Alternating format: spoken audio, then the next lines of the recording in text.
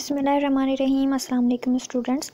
आज के लेक्चर के अंदर हम लोग अपना प्रीवियस लेक्चर को ही कंटिन्यू करते हुए कुछ टाइप्स को पढ़ेंगे फ़िज़िकल इनकम्पेटेबिलिटी की, लेकिन इसके साथ ही हम जो ऑनलाइन टेस्ट हुआ था फार्मास्यूटिक्स का, उसकी डिस्कशन भी करेंगे। तो आइए आज हम पहले फ़िज़िकल इनकम्पेटबिलिटी के रूप प्रीवियस लेक्चर्स में हम लोगों ने ये पढ़ा था कि कुछ फ़िज़िकल इनकम्पेटबिलिटीज़ होती हैं, जो कि कलर में ऑर्डर में और मार्फोलॉजिकली चेंजेस ले आती हैं, जब दो या दो से ज़्यादा कंपोनेंट्स या सब्सटेंस एक दूसरे के साथ इंटरेक्ट करते हैं फार्मास्यूटिकल प्रोडक्ट के अंदर। अब उसी में हमने एक टाइप पढ़ी थी ल्यूकिफिकेशन ऑफ़ सॉलिड इंग्रेडिएंट्स के mixture of some solid ingredients change in liquid form when they mix to each other जब दो या दो से ज़्यादा इंग्रेडिएंट आपस में मिक्स किए जाएँ वो तो लिक्विफाई फॉर्म के अंदर आ जाएँ। लाइक like, हमने एग्जांपल ली कि methanol ammonium chloride and camphor को जब अगर मिक्स किया जाता है हम उसका इंसफ्लेशन बनाना चाह रहे हैं जो कि पाउडर फॉर्म में बनाना चाह रहे हैं लेकिन जब उन्हें मिक्स किया जाए तो वो लिक्विड फॉर्म के अंदर तब्दील हो जाए। इस तरह का प्रॉब्लम अगर देखने में आए तो हम उसको रिज़ॉल्व कर सकते हैं एब्जॉर्बेंट डालकर या मैग्नीशियम कार्बोनेट डालकर ताकि वो एक्स्ट्रा जो मॉइस्चर है उसे एब्जॉर्ब कर ले अपने अंदर। अदरवाइज़ प्रोडक्ट जो है फ़िज़िकल इनकम्पेटबिलिटी का शिकार हो जाएगी अनडिज़ायरेबल चेंज देखने में आएगा क्योंकि हमें एक पाउडर फॉर्म में जो है प्रोडक्ट बनानी थी, लेकिन वो प्रोडक्ट क्योंकि ड्यूक्योफाई हो रही है, उसके अंदर नमी आ रही है, वो लिक्विड फॉर्म में तब्दील हो रही है तो वो हमारे लिए सही नहीं होगी। इसी तरह हम एक और टाइप पढ़ने जा रहे हैं जो कि इनकरेक्ट फॉर्म प्रिस्क्राइब्ड अगर बाज़ दफ़ा डॉक्टर ने इस तरह को कोई सॉल्वेंट प्रिस्क्राइब कर दिया है, जो इनकम्पैटिबल है किसी भी ड्रग सब्सटेंस के साथ तो यहाँ वो प्रॉब्लम देखने में आ सकती है। Like sometimes physicians may prescribe incorrect solvent to dissolve the ingredient in which it is not soluble उन्होंने एक ऐसा solvent describe किया है prescribed किया है जो कि उस चीज़ को डिज़ोल्व नहीं कर पा रहा अपने अंदर किसी भी ख़ास सब्सटेंस को जो उसने प्रिस्क्राइब किया है वो सॉल्वेंट जो उसने उसके साथ लेने को कहा है, वो सही तरह डिज़ोल्व नहीं कर पा रहा। तो इनसुएबिलिटी देखने में आ जाएगी इमीजिबिलिटी देखने में आ जाएगी। होगा क्या, सही तरह डिज़ोल्व नहीं होगा तो सही तरह एब्जॉर्ब भी नहीं होगा और डोज एक्यूरेसी में भी प्रॉब्लम आ जाएगा। तो इस तरह का प्रॉब्लम्स हो सकते हैं जब इनकरेक्ट सॉल्वेंट प्रिस्क्राइब कर दिया जाए। Like resin turpentine and distilled water के साथ अगर उसको सोल्यूशन बनाने को कहा जाए तो resins is insoluble in water हमने पहले भी पढ़ा था, पहले हम इस बात को डिस्कस करते हैं रेजेंस जो हैं, वो पानी में हल नहीं होती, बहुत कम हल हैं। तो हम अगर रिप्लेस कर देंगे इसको अल्कोहल के साथ तो वो फिर इजीली डिज़ोल्व हो जाएँगी। लेकिन अगर कोई फिजिशियन कहता है कि आपने एक सोल्यूशन बनाना है और उसके अंदर रेजेंस भी मौजूद है और वो वाटर में आप डिज़ोल्व करें लाइक यहाँ रेजेंस टर्पेंटिन की एग्जांपल दी गई है तो वो प्रिस्क्राइबिंग रॉन्ग होगी और वहाँ पे इनकम्पेटेबिलिटी देखने में आ जाएगी।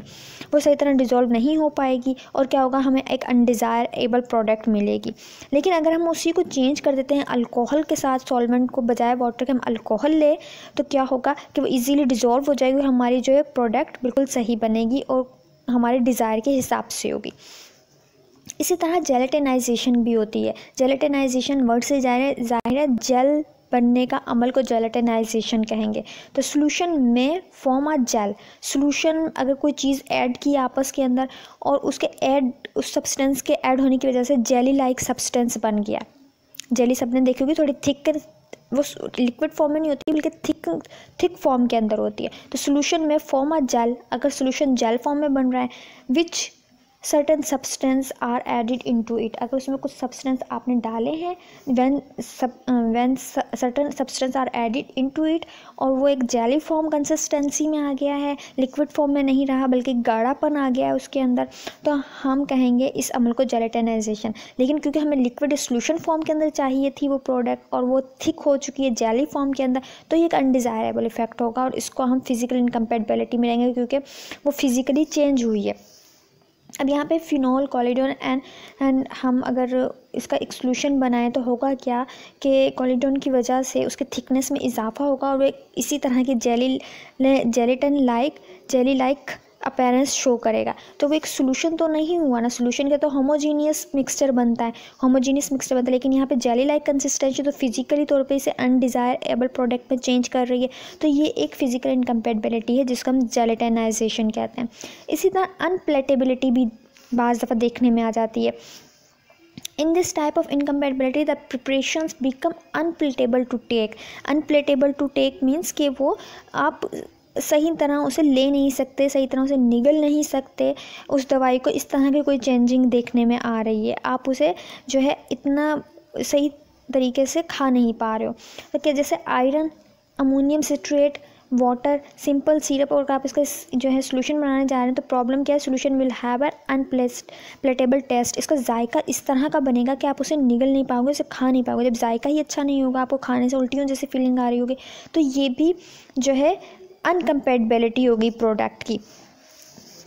सोल्यूशन क्या है इसका? कि simple syrup should be replaced by either लेग्जर और cherry cherry flavour cherry syrup या तो आप चेरी सिरप से उसको रिप्लेस कर दो सिंपल सिरप को तो क्या होगा? फ्लेवर उसका अच्छा हो जाएगा। या अलेक्ज़र कर दो तो ये भी फ्लेवरिंग के लिए इस्तेमाल हो रहा होता है।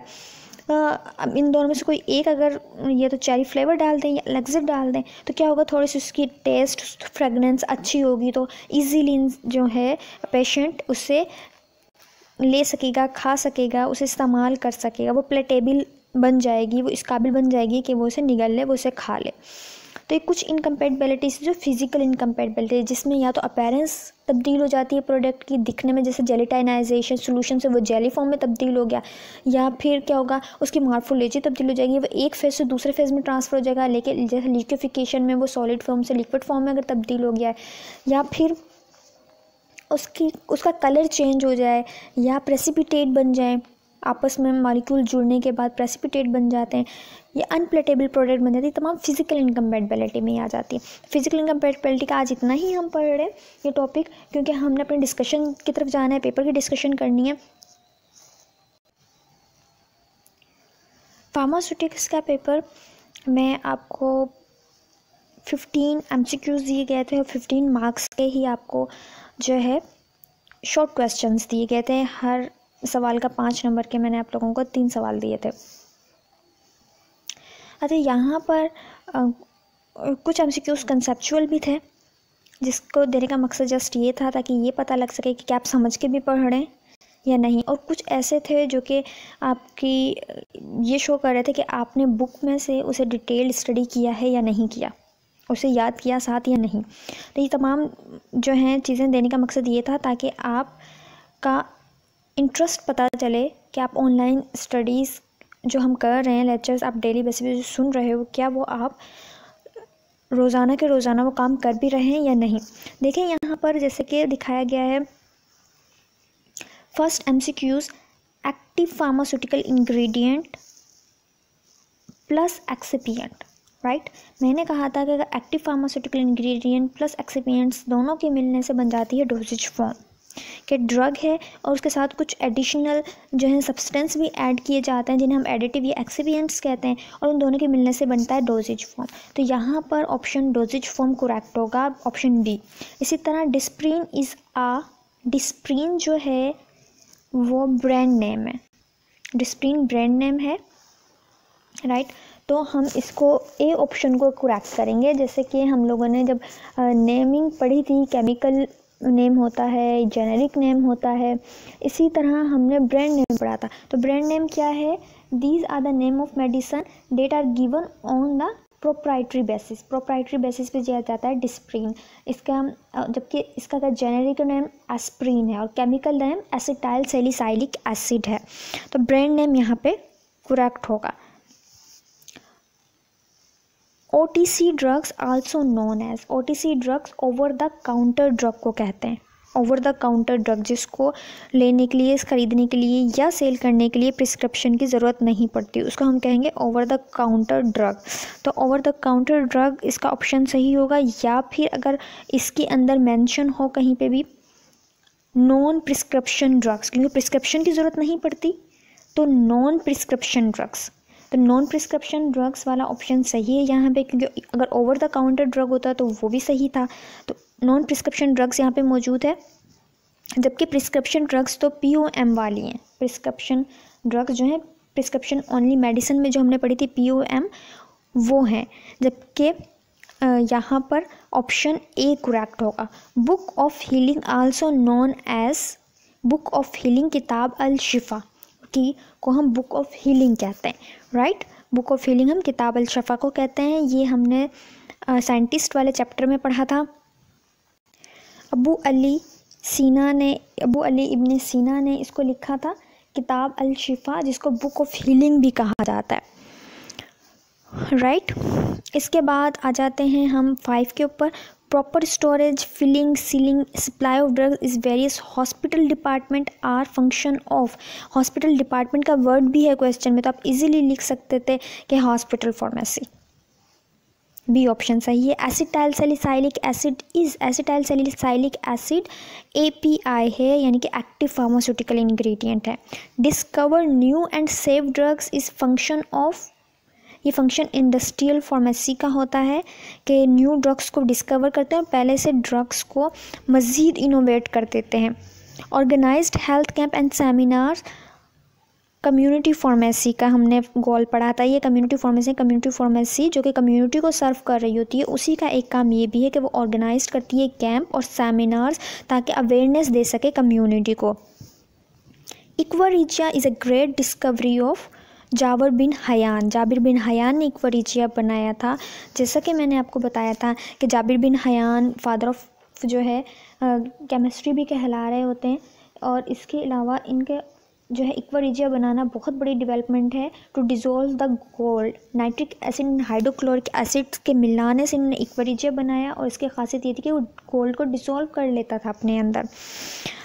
फिर इट्स मीन यहाँ पे ए ऑप्शन सही होगा।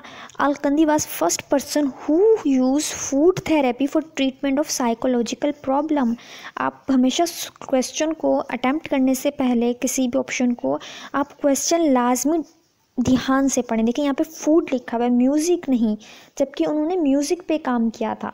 उनने वो फ़र्स्ट पर्सन थे जिन्होंने म्यूज़िक को यूज़ किया था ट्रीटमेंट ऑफ़ साइकोलॉजिकली प्रॉब्लम के लिए। यहाँ पे लिखा हुआ है फ़ूड तो इट्स मीन ये फॉल्स है। Drug that are synthesize by using combined source of natural and synthetic known as a semi synthetic ये आपकी बुक की एज इट इज़ लाइन थी। अगर आपने बुक में से पढ़ी हो, या आपने लेक्चर भी सुना तो लेक्चर में भी ये मौजूद थी कि drugs that are साइंथी synthesize by using combined source के, जिसमें नेचुरल एंड साइंथेटिक दोनों तरह के सोर्स इस्तेमाल हुए तो हम उन्हें सेमी साइंथेटिक सोर्स कहते हैं। तो इट्स मीन यहाँ पे ए एंड बी ऑप्शन सही होगा मीन के सी ट्वेल्व का है dash are the function of hospital pharmacy तमाम के तमाम फ़ंक्शन हॉस्पिटल फार्मेसी ये proper storage of drugs filling and sealing and supply of the drugs ये तमाम के तमाम फ़ंक्शन जो हैं हॉस्पिटल फार्मे फार्मेसी के आ जाते हैं। और देखिए, ये अगर आप थोड़ा सा ध्यान से पेपर करते तो आप ये दोनों ऑप्शन ईजीली करेक्ट कर सकते थे। ट्वेल्व और फाइव। फाइव के अंदर भी यही फ़ंक्शन लिख के पूछा गया था कि कौन सी फार्मेसी का फ़ंक्शन है। जबकि ट्वेल्व के अंदर यही फ़ंक्शंस को ऑप्शन में दिया गया था। Digoxin obtained by the so, dish sources. Digoxin किस सोर्स से हासिल की जाती है?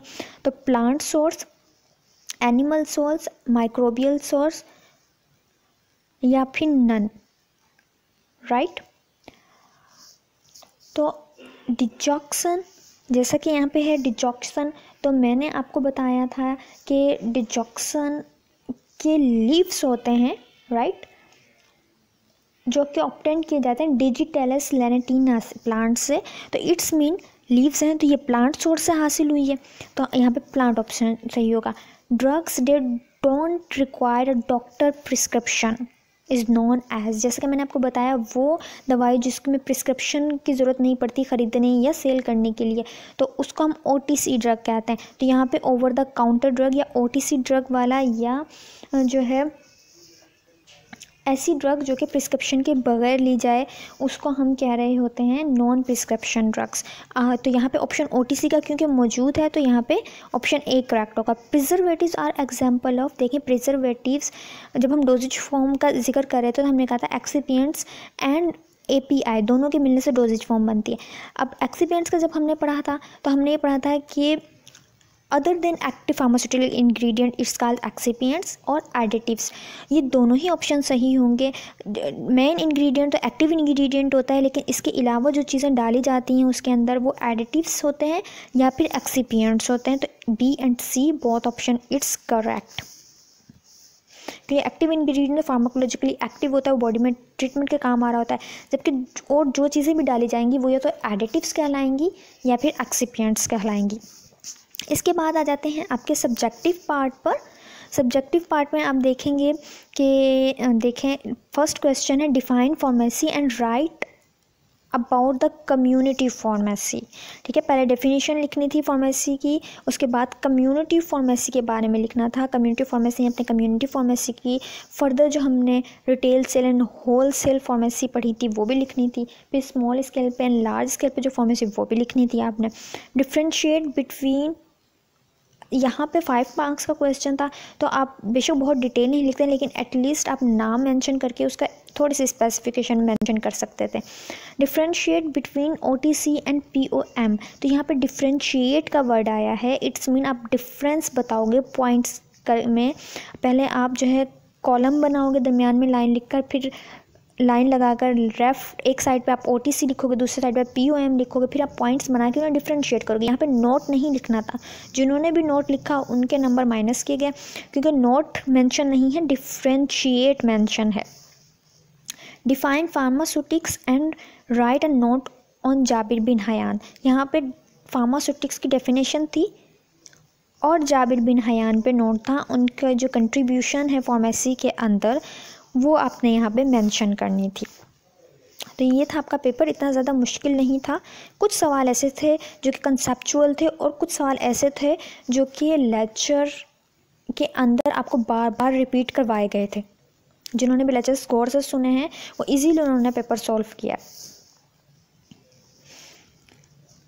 लेकिन पेपर को सॉल्व करते हुए कुछ पैरामीटर्स को अपने माइंड में हमेशा रखा गया कि क्वेश्चन को पहले हमेशा एमसीक्यूज़ को चूज़ करने से पहले ऑप्शन को क्वेश्चन की स्टेटमेंट को ध्यान से पढ़ा करें। दूसरी बात ये कि जब आप जैसा ऑनलाइन अभी पेपर चल रहे हैं तो ये टेस्ट जो भी हो, आप उसके अंदर सिर्फ़ करेक्ट आंसर की ऑप्शन में उसका अल्फ़ाबेट लिखोगे। पूरा आपको स्टेटमेंट लिखने की ज़रूरत नहीं है। जस्ट अगर यहाँ पे लिखा हुआ है कि drugs they don't require doctor prescription is known as option A O T C option B O T O option C P O M तो आपने सिर्फ़ ए लिखना है कि ए, जस्ट पूरा आपको लिखने की ज़रूरत नहीं ओ टी सी बस ए ए ऑप्शन सही है। इसी तरह active ingredient additives excipients A D option, B and C बहुत। तो आप यहाँ पे जस्ट जो आपको ऑप्शन सही लग रहा है बी आपको सही लग रहा है तो आप बी लिख दो सी आपको सही लग रहा है सी लिख दो डी आपको सही लग रहा है तो आप डी लिख दो। लेकिन आपको पूरी पूरी स्टेटमेंट लिखने की ज़रूरत नहीं है, इससे जो है कोई फ़ायदा नहीं होता, बल्कि बाज़ दफ़ा क्या होता है कि आपने ऑप्शन में अल्फ़ाबेट दूसरा लिखा होता है और स्टेटमेंट दूसरी लिखी होती है। और दूसरा कटिंग नहीं किया करें पेपर में। वो गलत कंसिडर होता है एम में ख़ास तौर पर तो इन तमाम चीज़ों को अपने ध्यान में रखिएगा। नेक्स्ट टाइम में आपके काम आएँगी, जो यानी कि न्यू स्टूडेंट्स हैं, उनके लिए तो क्योंकि पहला टेस्ट था ये फार्मास्यूटिक्स का तो उनको थोड़ी सी लीनियंसी दी गई, लेकिन जो ओल्ड स्टूडेंट हैं, वो बर मेहरबानी आप पहले क्वेश्चन को पढ़ लिया करें, उसके बाद सॉल्व किया करें। अगर आप कम्युनिटी फार्मेसी की जगह कम्युनिटी फार्मेसी क्लिनिकल फार्मेसी या हॉस्पिटल फार्मेसी को लिख रहे होंगे तो ये यकीन आपको कोई नंबर नहीं मिलेगा।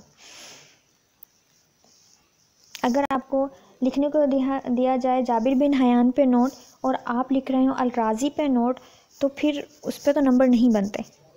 चाहे आपने एक्यूरेट ही क्यों ना लिखा हो। तो हमेशा इन बातों का ख्याल रखें।